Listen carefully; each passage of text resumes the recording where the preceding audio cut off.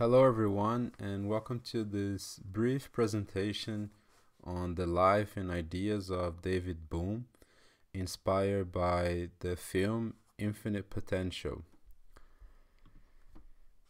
So what you're gonna see is a map that displays some of the events and discoveries that mark the life and work of physicist and philosopher David Bohm which has been described as one of the most significant theoretical physicists of the 20th century. Um, among other things, he has created solid ontological and epistemological frameworks that allows us to better understand the wholeness and interconnected of the universe. Here we have more information about the map itself, uh, the film that inspired it, as well as the timeline um, that were used that was used for the creation of the map. So let's begin.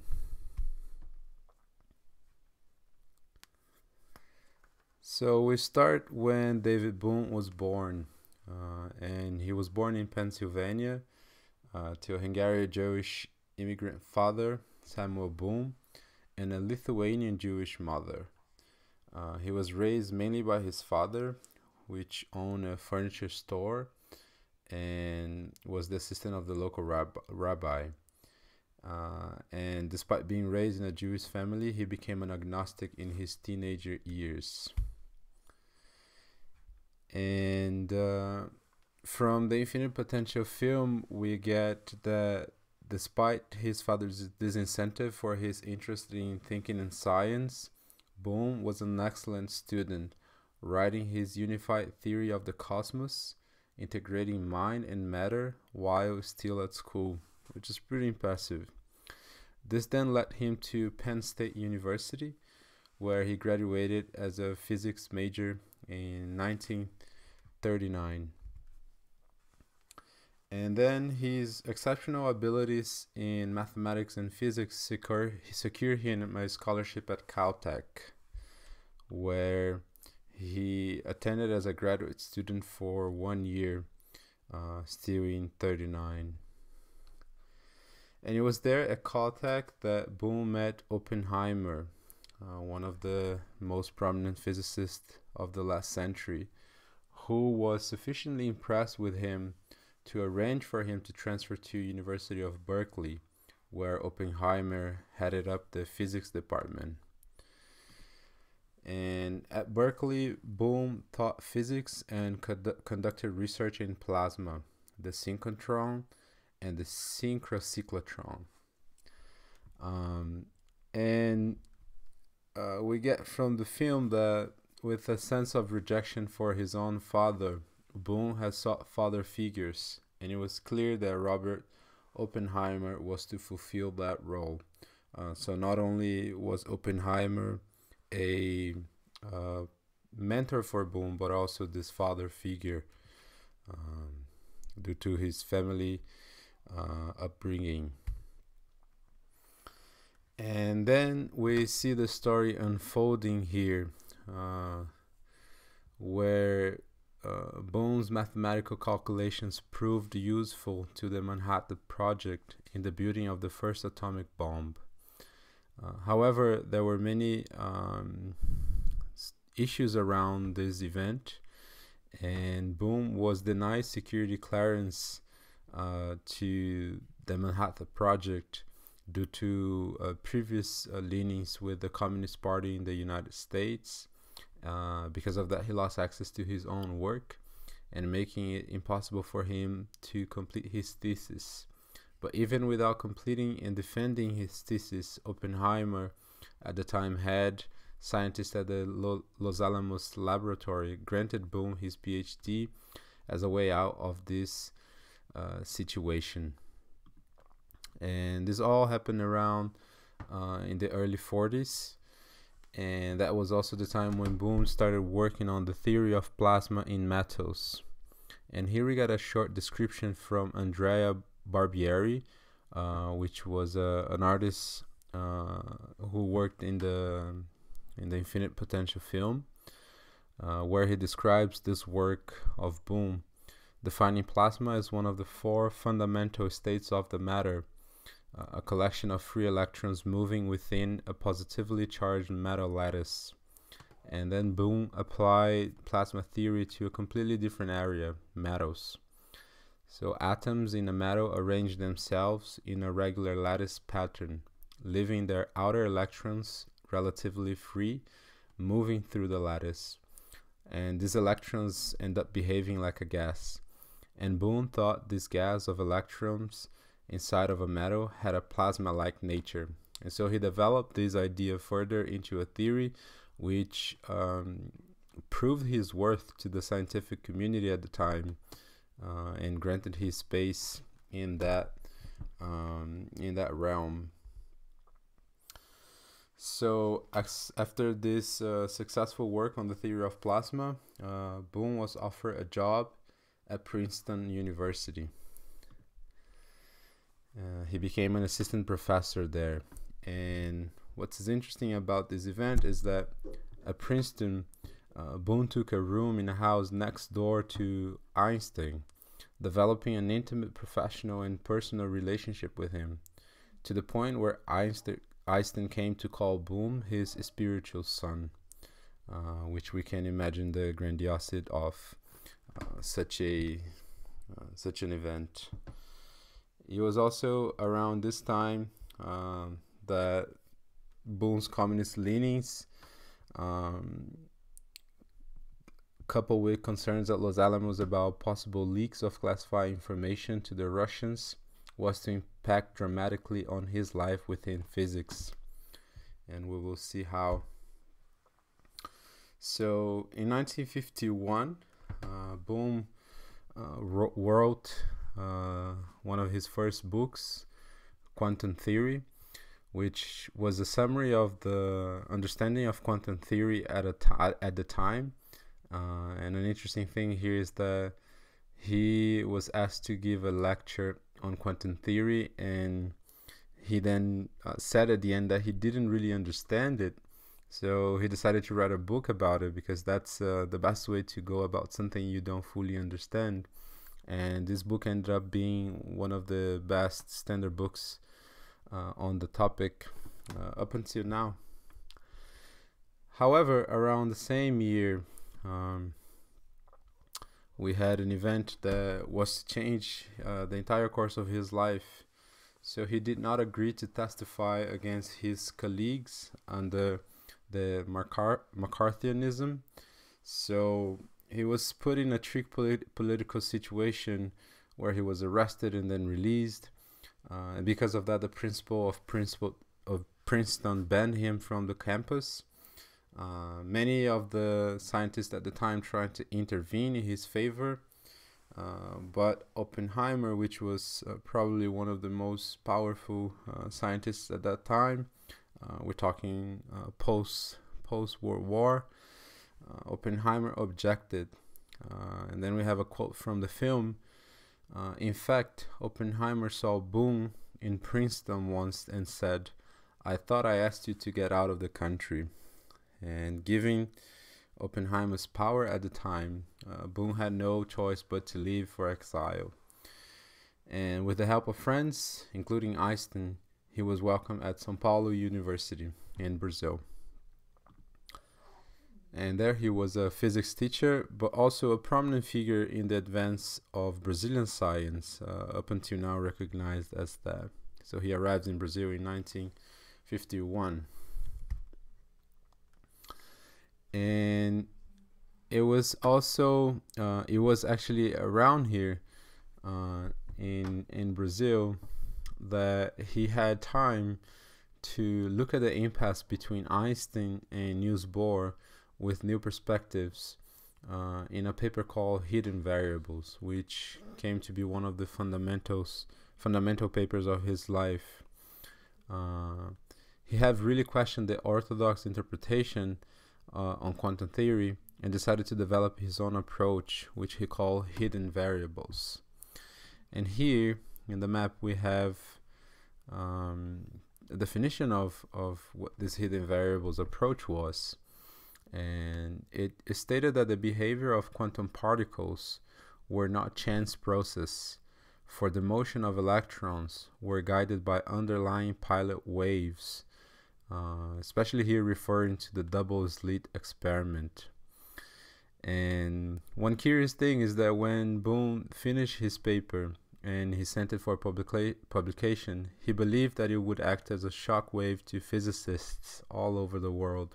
However, he heard nothing, and that made him really shocked over why there was no reaction to his paper.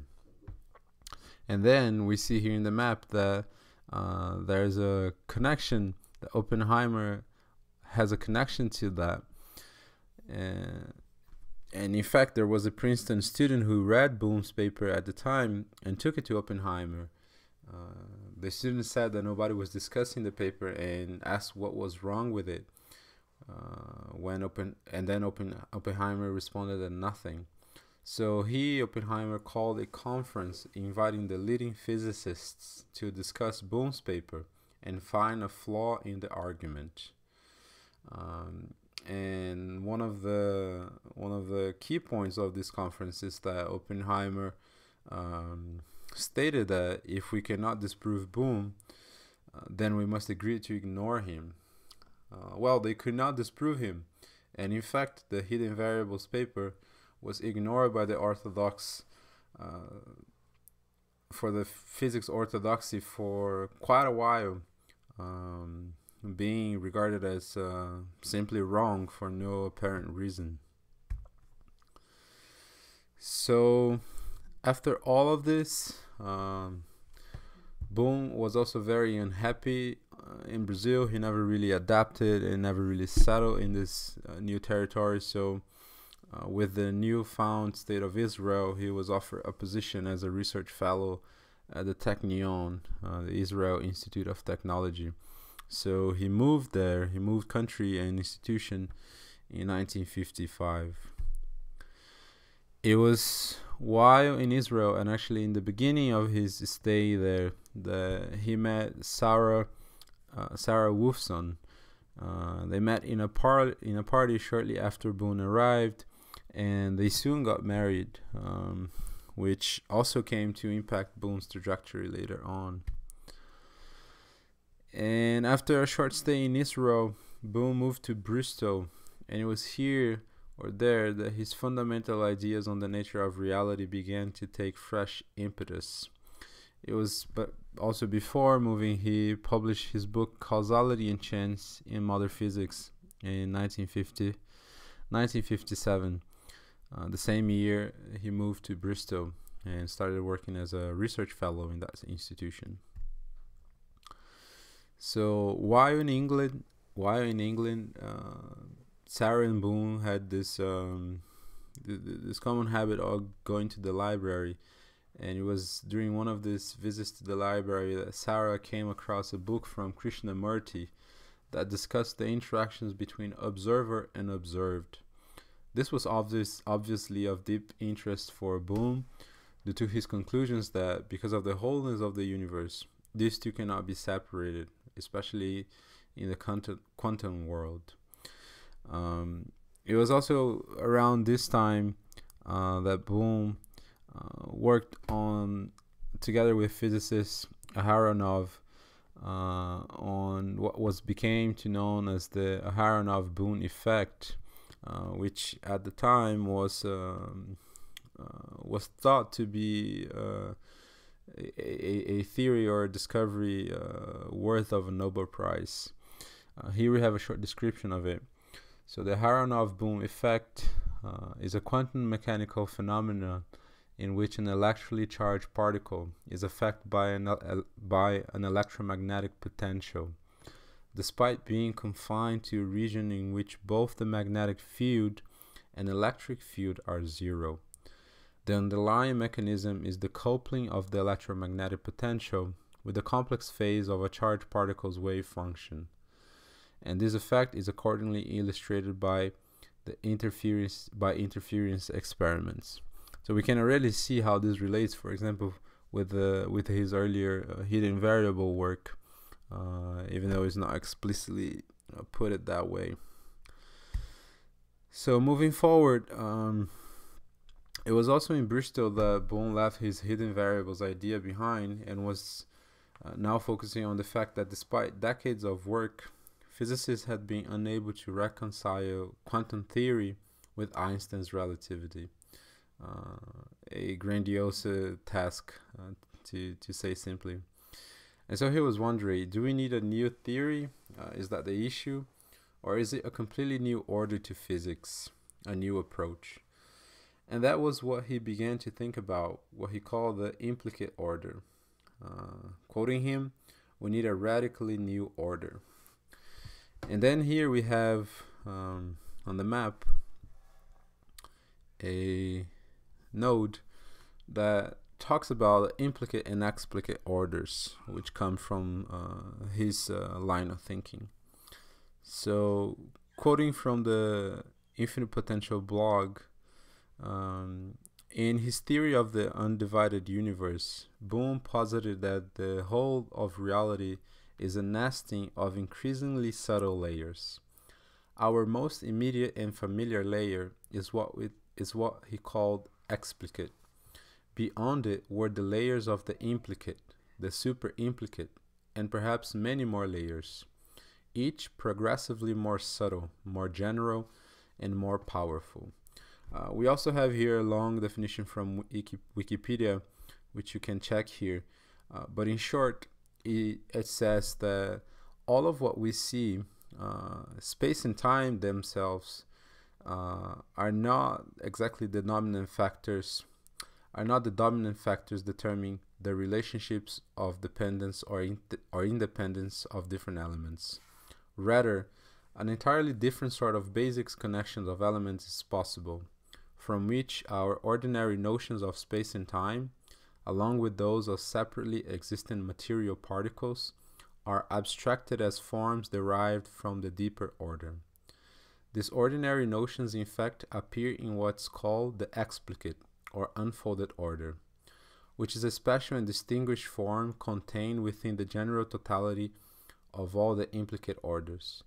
So, what Bohm is saying here is that uh, the way reality works or the way it is structured is that uh, there are different layers of uh, reality even reality really uh, where in in the where what we experience uh, in terms of the material world is part of this explicit order but this explicit order is deeply connected and influenced by more subtle uh, orders of, of existence, which are the, the implicate ones.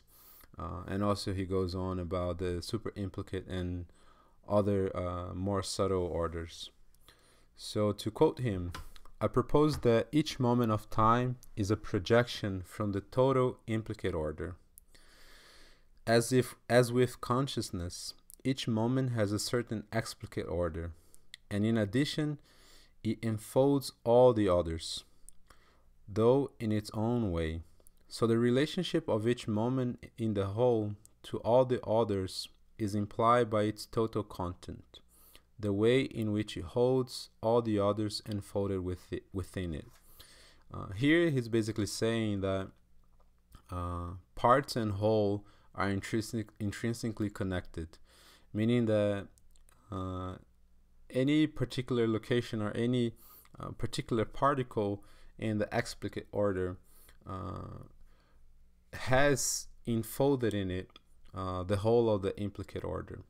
Uh, so we can see that these are radical ideas even for our times, and that's what he was proposing um, in the in the 60s uh, when quantum physics was still taking shape as a as a subject that would impact our lives. So moving forward, uh, we have here that David Bohm and Krishnamurti finally meet in June 1961. Uh, and after a first encounter, they became very close to the point where Bohm quickly became a trustee at Krishnamurti's school at Brockwood Park. They and then there they enter a series of conversations whose themes cover the ending of time, the nature of mind, cosmic order, and much more over a 25 year period. So, the book that Sarah discovered uh, in 59 deeply inspired Bohm to the point where he was really uh, interested in meeting uh, this Indian philosopher Krishnamurti. And after they met, they formed this very strong relationship uh, that unfolded in many different projects uh, and collaborations together, including Bohm uh, being part of the of the board for Brockwood Park School, funded by Krishnamurti. And it was also in 1961 that oh sorry that Bohm moved to Birkbeck College uh, in the University of London, where uh, he started working as a professor of theoretical physics. And it was also at that time that he met his longtime collaborator, uh, Basil Hiley. And he received, uh, it was at Birkbeck College that Bohm formed one of his most enduring science partnerships uh, with physicist Basil Hiley, with, which uh, deeply uh, influenced his work on the implicate and explicate orders, uh, taking it steps further. And here we have an interview with uh, Basil Hiley for uh, for the Scientific American uh, uh, magazine. Uh, I'm not gonna go through it throughout, but you can check later on on the map. you can also check the profiles of all of these people here. They are on the map as well. But the important thing to uh, say here, and this is a quote from Basil Hiley, is that while at Birkbeck College, uh, Bohm was developing a new idea, which was called structure process. Uh, that basically, we want to start things, we want to start looking at the, the universe uh, with process and not particles moving through space time, but a process from which both particles and space time can emerge. Uh, very radical ideas uh, and ideas that were then again uh, feedback to influence the implicate and explicate orders uh, that became a fundamental pillar of his work. And here we have from Wikipedia the, the notion of implicate and explicate orders emphasizes the primacy of structure and process over individual objects. The latter are seen as mere approximations of an underlying process. In this approach, quantum, quantum particles and other objects are understood to have only a limited degree of stability and autonomy. So we see how the, the idea of structure process uh, came to influence the concepts of the implicate and explicate orders. So moving forward, 1965, uh, Bohm uh, writes or publishes the book The Special Theory of Relativity and it's also the year where he um oh no that was sorry uh 65 and then years later actually uh, actually in, in 71 uh, that's when he meets uh, David Peat which also becomes one of his long uh, lifelong collaborators uh, here we also have a quote from Wikipedia uh, saying that what the two have accomplished together, such as uh, writing the book Science, Order, and Creativity. Uh, also, Peat later wrote Bohm's biography, Infinite Potential, The Life and Times of David Bohm. Uh, this biography was uh, an inspiration for the film. And in the context of this biography, Peat emphasizes how Bohm had worked intensely on finding a mathematical expression for his vision of an interconnected and folded implicate order. From each inexplicate order, the world of classical physics unfolds. Bohm also aimed at reintroduce time as a dynamic entity. So here we see again the role of the implicate and explicate orders in the work of Bohm uh, and the relationship between these two. So that's 1971. If we go one step further, here we have uh, a big new chunk to our map. Uh, just to make things easier, uh, if we put here, we will highlight what this uh, is representing. So from Infinite Potential Film, uh, it had been decades since the physics orthodoxy had Black Ball Bohm and his hidden variables. Uh, and it would take a new team of maverick scientists to unearth this critical work and resurrect it to a new generation. And that's what Chris, uh, Chris Dewdney, uh, was an absolute master at. Uh, was actually developing computer programs to actually simulate this, and let's and let us have a look at what's going on here. So, what's being simulated? Uh, exactly the hidden variables paper. So, around uh, this time, we're talking 72, uh, they finally developed sufficient computing power uh, needed to run the complex mathematics require, required to describe uh, hidden variables. This work was conducted by Chris uh, um, and other uh, members of his team at Big Birkbeck College working under the supervision of Basil Hiley um, and here we see uh, a autobiography by Chris, where he says that he was the first to apply the Broglie-Bohm theory, quantum theory, uh, which is the hidden variables, uh, to carry out detailed calculations through computer simulations of the well-defined motions of individual quantum particles of individual quantum systems. I made innovative, innovative use of early computer generated movie technology to present animations of particle motions during interference measurement. And then here again, we're talking about the double slit experiment. Uh, and the work that Chris developed was on uh, creating simulations that would, uh, com creating computer simulations that would simulate uh, the behavior of quantum particles going through the double slit experiment, um, but rather following trajectories trajectories informed by mathematically informed by the hidden variables proposed by Bohm um, in 1952. So 20 years later, 20 years before, and this is what Chris uh, says in the in the movie about this.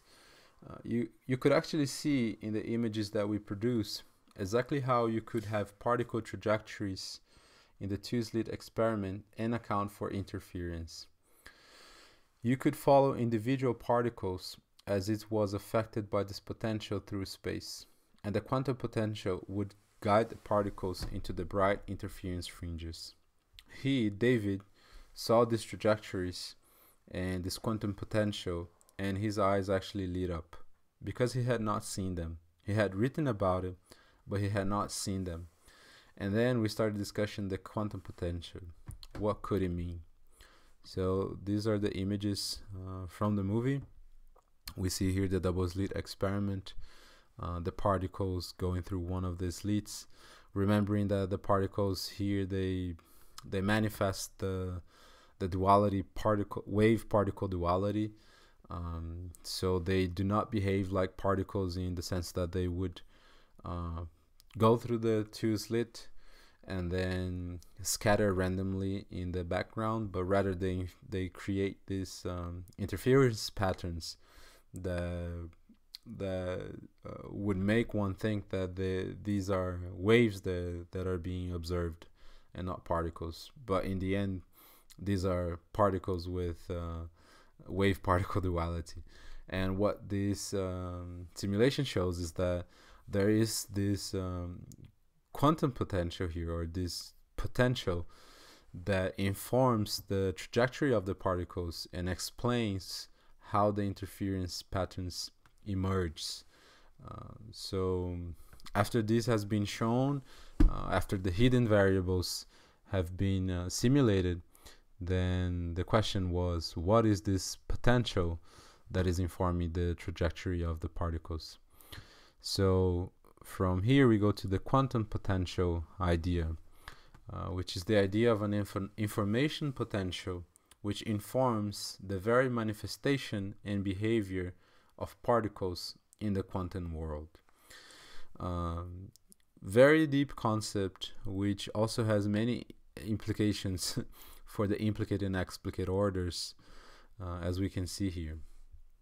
So from Wikipedia, in line with David Bohm's approach, Basil Hiley and mathematician Maurice de Gosson show that the quantum potential can be seen as a consequence as a consequence of a projection of an underlying structure, more specifically of non-commutative al algebraic structure onto a subspace onto a subspace such as ordinary space.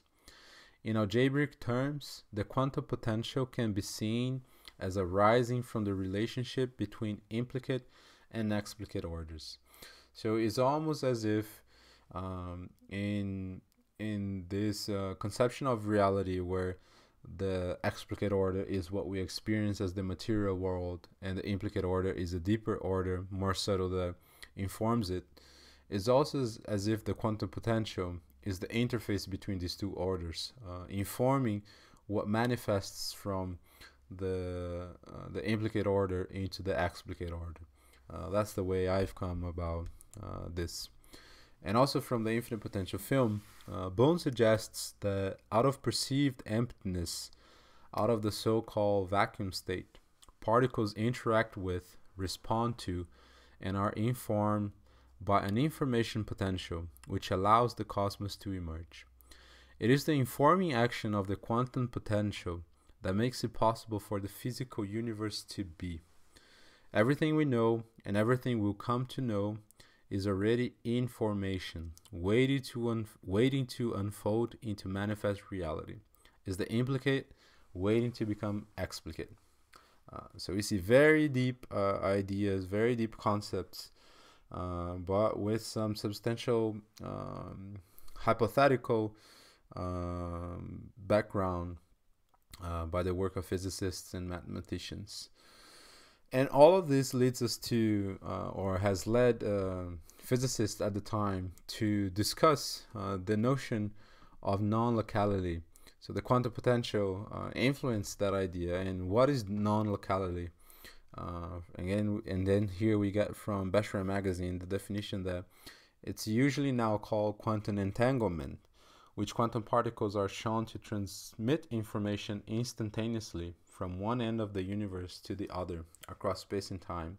So non-locality uh, basically means that there is um, this phenomena in which uh, elements of reality, particles per se, which are very distant from each other, uh, have a, a deep connection to each other and a, and a connection that transcends the speed of light uh, in the sense that changes in one uh, of these elements in one of these particles uh, instantaneously manifests in another one.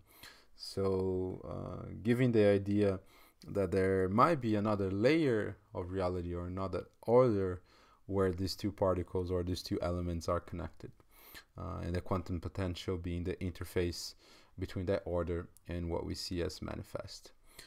So all of this is what I have highlighted here as the hidden variables um, uh, the technical term in the map is the loop, but we can think about it as the hidden variables chapter in Bohm's life. Uh, so it has all of these elements that are shown here.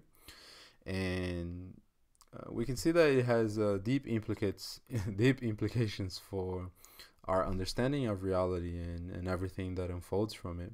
Uh, and the hidden variables, uh, as well as the quantum potential, and non-locality are topics of interest in physics in physics up until today, uh, with the quantum potential still being a topic of experiments, especially at Birkbeck College, uh, where physicists led by Basil Hiley are trying to prove its existence, uh, which would then prove um, the existence of this uh, implicate order that we've been talking about. So this all happened in 1972, uh, 20 years later after the event with Hidden Variables paper, uh, and of course uh, a big pillar of uh, David Bohm's work. So let's see what's next. It was also while he was at Birkbeck College that uh, he first met the Dalai Lama. Uh, so from Wikipedia we get that on his first trip to the West, in 73, the Dalai, the Dalai, the Dalai Lama asked to visit uh, Cambridge University's astrophysics astrophysics department in the UK, and he was sought out and he sought out renowned scientists such as uh, David Bohm, uh, who taught him the basics of science. And since this first encounter, Bohm and the Dalai Lama have participated in other dialogues and panels on science and spirituality, uh, to the point where the Dalai Lama has come to call Bohm his uh, science guru, which I think is a pretty uh, big thing uh, for one person, um, which was called by Einstein his spiritual son, and the Dalai Lama his science guru. So that's uh, 73. Moving forward, uh, in 98, Bohm published his book Wholeness and the Implicate Order, which is probably his most uh, known work and a big summary of his entire life's work. Um, and also in this book, he introduces the concept of the rheomode language.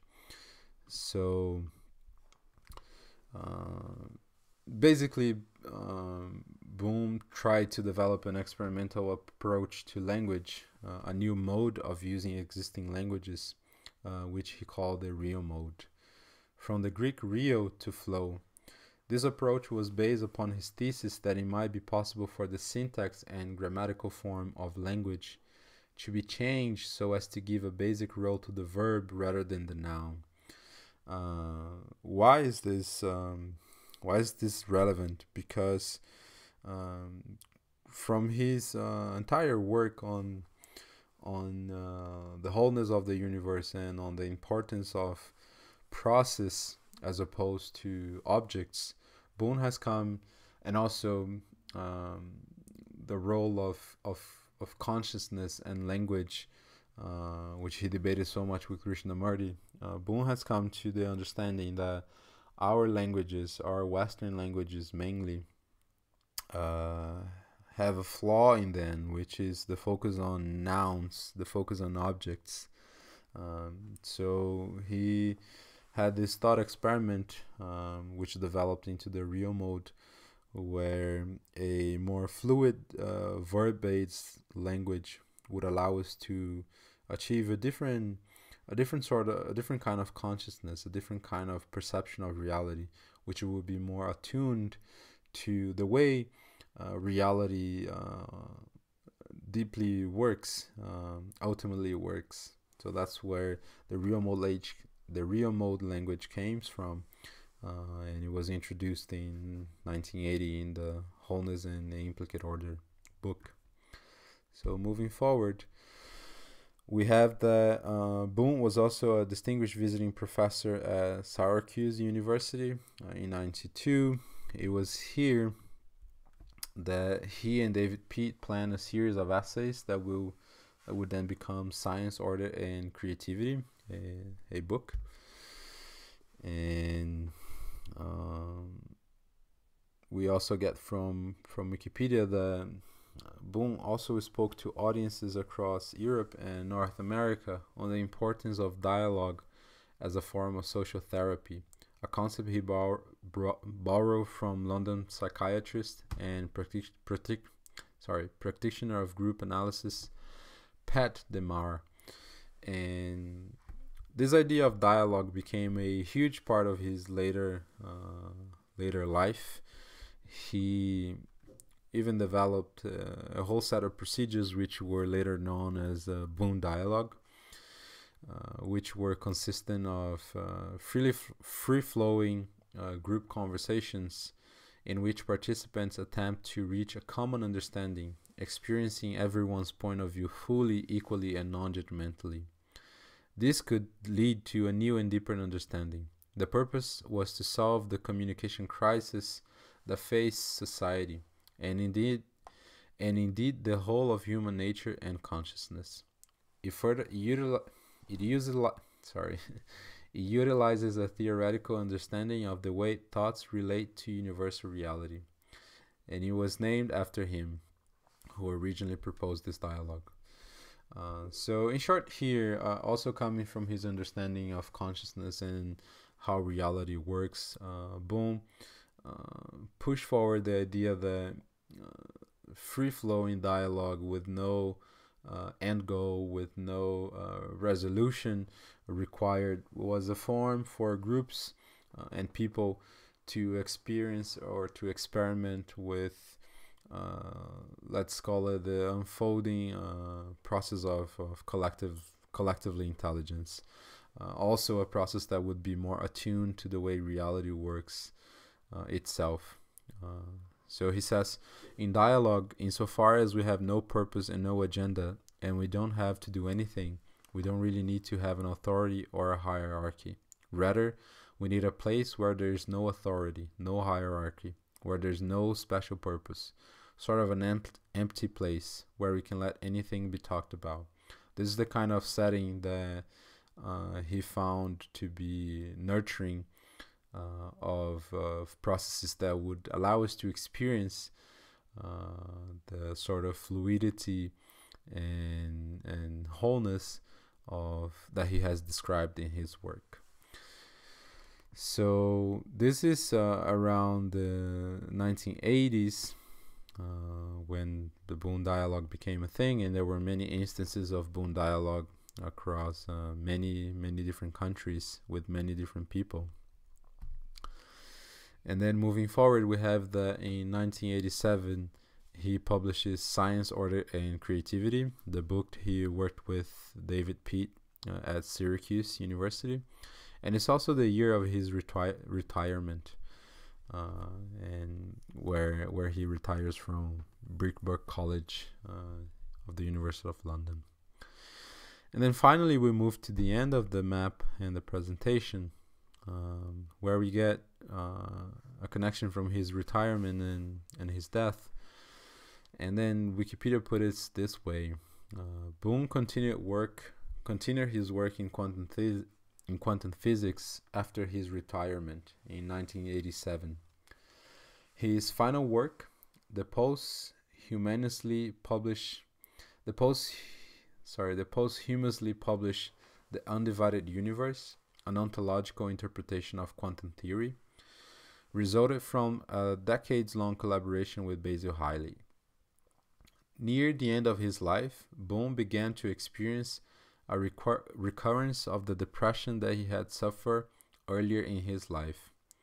He was admitted to the Maudsley Hospital in South London on 10 May 1991. His condition worsened, worsened, and it was decided that the only treatment that might help him was electroconvulsive therapy. Bohm showed improvements from the treatments and was released on 29 August, but his depression returned and was treated and then he was treated with medication.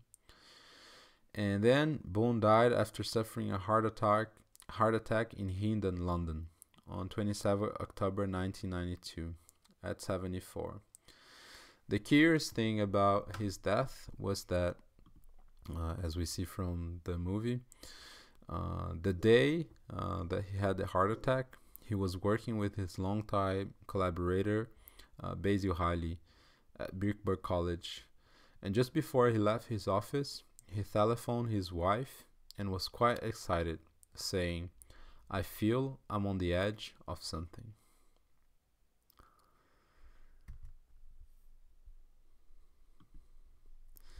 So this is the end of the presentation.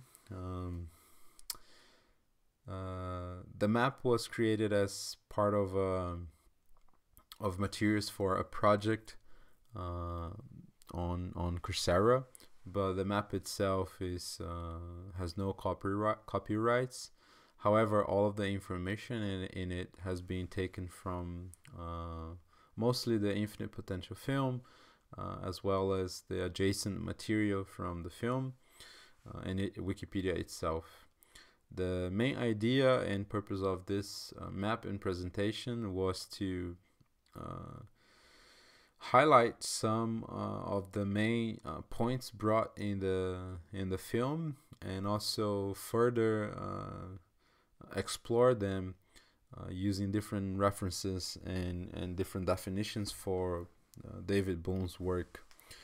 Uh, a, a, a life and, and a work that at least uh, in the opinion of this presenter, has never been so important, given our urgent need to understand and reconcile uh, our perception of reality for the challenges that we face, which are challenges that connect us all uh, in this uh, experience of life, uh, especially on this planet. So I hope that this presentation at least sparked some interest on David Bohm's work and for more detailed explanations of his ideas uh, and theories, uh, one could use the map that was created for this presentation uh, to navigate. Uh, the link for this map is, is in the description of this video, but also all of the references uh, that were used uh, are also amazing sources for further, in further inquiry. And of course, the film Infinite Potential, which has deeply inspired uh, this presentation and this work, as well as uh, its creator. So, thank you for watching, and I really hope you have enjoyed it. Bye bye.